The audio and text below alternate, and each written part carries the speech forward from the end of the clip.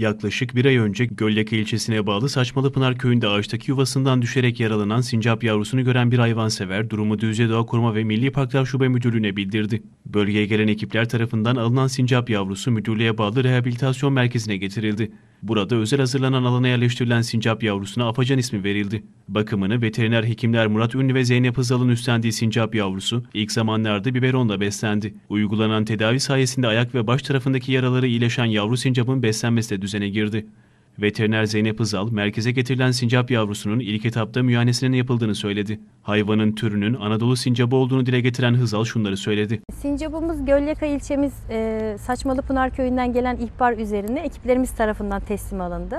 E, ihbar şu şekildeydi. Yaralı yavru bir sincap bulduk. E, hareket edemiyor. E, çok halsiz diye bize bildirdiler. Ekiplerimiz teslim alarak kurtarma merkezimize getirdiler.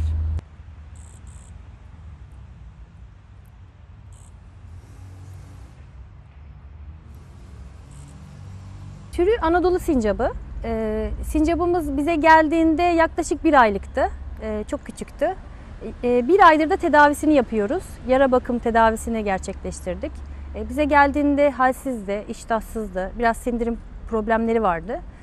Ee, hem iyileşti o süreç içerisinde hem de gelişmesini sağladı. Ee, şu anda yaşına uygun davranışları olan e, kabuklu kuru yemişleri açıp yiyebilmek, ee, onun haricinde kendini savunmak, savunmak için çeşitli sesler çıkarmak e, gibi davranışlarını kazandı. E, bunun haricinde e, artan yemlerini saklamak, bu da yine onun e, ayına uygun, gelişimine uygun davranışlarından. Bu davranışını da kazandı bu tedavi süreci içerisinde. E, büyümeye devam etti. E, yaklaşık iki aylık oldu şu anda sincabımız. Kendisi de tabii doğaya salınmak için sabırsızlanıyor. Biz de çok sabırsız onu en kısa zamanda bulduğumuz noktada tekrar e, doğayla kavuşturacağız.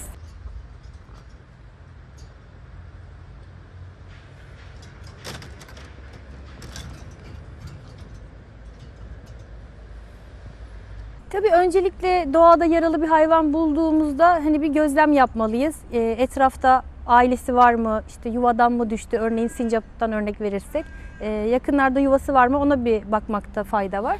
E, bunun haricinde tabii ki yaralıysa eğer e, tedaviye ihtiyacı varsa mutlaka bizimle iletişime geçirmeli.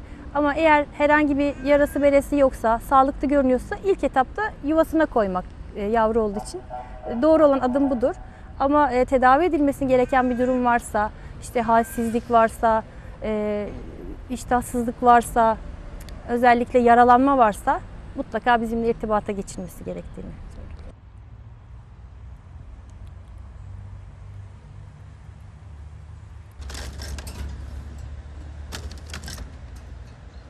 alışıyoruz ama tabii e, bunlar yaban hayvanı olduğu için çok fazla temas kurmamak, onu işte evcilleştirmemek öncelikle hedefimiz. Çünkü bu hayvanlar e, yaban hayvanı doğada yaşadıkları zaman çok daha mutlular. E, onları en kısa zamanda kendi doğal ortamlarına salmak hedefimiz olduğu için ilk önce onları iyileştirmek ve en kısa zamanda doğaya kavuşturmak bizi en çok mutlu eden bu oluyor.